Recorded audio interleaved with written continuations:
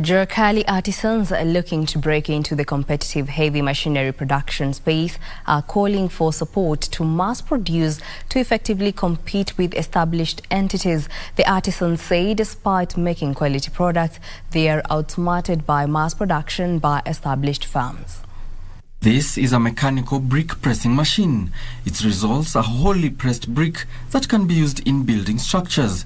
But the makers of such machines say they are undervalued, mainly by potential customers who prefer products from established firms. At least if the government, uh, if those agencies uh, could be able to come through uh, and give us a good funding that can enable us uh, to be able to do batch production, that would be a very good step to start with. Artisans looking to break into the formal sector are creative and come up with quality products that are fairly priced but face the challenge of uptake of their innovations. We have varieties from the uh, shamba, how you get the peanut and you uh, separate from the kernels. We have a machine that can do that. We also have a machine that can roast. Yeah?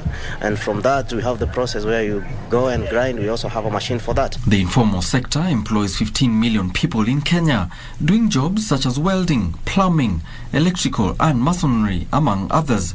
But Chomba says there's still light at the end of the tunnel, especially with goodwill from value chain players and those in positions of authority.